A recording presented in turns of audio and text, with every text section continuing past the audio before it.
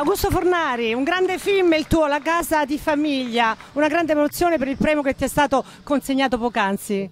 Beh sì, assolutamente sì perché questo è un festival eh, che io seguivo da ragazzino perché è nato vicino al mio paese, quindi ci andavo, la sera tornavo, che finivano i bus e tornavo a piedi a casa pur di vedere questo festival, insomma è una roba che è davvero un pezzo di infanzia e prendere questo premio è un grandissimo per me riconoscimento. Un abitué del Festival delle Cerase, questa rassegna cinematografica straordinaria, tu non manchi mai l'attore più importante del momento, Marco Giallini. Grazie Marco.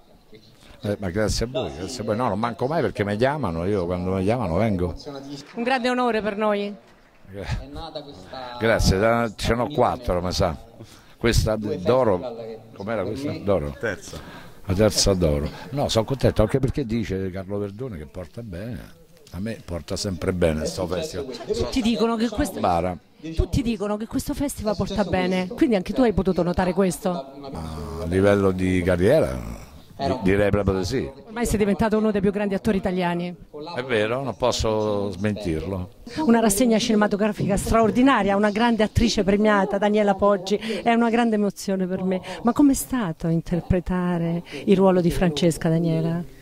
Eh, non è stata una passeggiata, è stata particolarmente mm, una strada in salita, faticosa, perché sono dovuta scendere eh, nella sofferenza, nel dolore di, della mia Francesca, essendo poi tra l'altro il film tratto da una storia vera, e quindi rendermi conto che cosa poteva voler dire trovarsi in ginocchio a chiedere l'elemosina nella disperazione più assoluta, non avendo più ciò che era però di suo diritto normale avere, cioè la sua pensione. Raccontiamo 4, le 400.000 persone che si sono ritrovate in questa condizione, in questa situazione e, e la dignità che non hanno mai perso, ehm, la voglia di combattere che non hanno mai perso, la, la speranza comunque un giorno di poter riuscire a risolvere. Da quando ti è stata data la sceneggiatura, hai accettato immediatamente?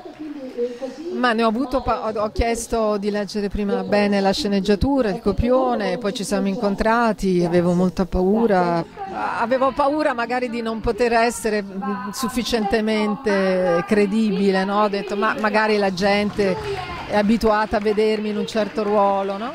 E invece lui mi ha detto no, perché tu sei tu, vai bene, per, sei perfetta. Io quindi... credo che Ciro Formisano, questo giovane regista, ti abbia dato anche un qualcosa di più a dispetto di altri registi, quali La sicurezza che sicuramente l'esodo sarebbe stato un film molto sentito. Sentiamo poi il regista. Io, per me è stato un grandissimo, un grandissimo onore lavorare con Daniela Poggi, è quello che l'ho sempre detto fin dal primo momento e, tra l'altro c'è una novità, nel senso che ehm, ho passato a setaccio la, la produzione eh, cinematografica italiana degli ultimi due anni e questo è l'unico film negli ultimi due anni in cui l'attrice protagonista compare dalla prima all'ultima scena. Quindi è un one woman, one, one movie. Un grande patrono del Festival delle Cerase, questa rassegna cinematografica che abbiamo sentito che è la 33esima edizione qui a, a, invece a Monterosso Rotondo siamo alla sesta edizione, quindi incontriamo quest'uomo eccezionale che è Silvio eh, Luttanzi, che, a cui faccio veramente tanti complimenti Silvio. Lo sai perché è la 33esima edizione? Perché non abbiamo mai seguito l'onda politica di nessuno. Bravo Silvio. Questa è una grande, una grande, risposta, ti ringrazio Silvio. Ed ancora appunto Marcello Foti, grazie di essere qui Marcello e di aver preso questo premio eh, speciale, devo dire che è stato documentato appunto poc'anzi da Silvio che è anche un premio molto ambito. No, grazie a Silvio per averlo assegnato, ma più che a me al Centro Sperimentale di Cinematografia, che è una grandissima istituzione storica, la più antica scuola di cinema del mondo, è un centro di formazione di eccellenza per il nostro paese, conosciuto in tutto il mondo e questo ci gratifica molto. Ti ringrazio, grazie per tutto quello che fai e tra l'altro grazie anche per quello che hai detto perché le tue parole che abbiamo ascoltato sul palco sono state molto significative perché hai detto che portare il cinema in piazza ah, non è...